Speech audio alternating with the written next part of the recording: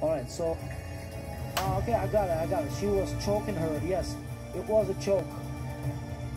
Yeah, it was a choke, but Yulia wasn't really trying to escape or really fight to defend it.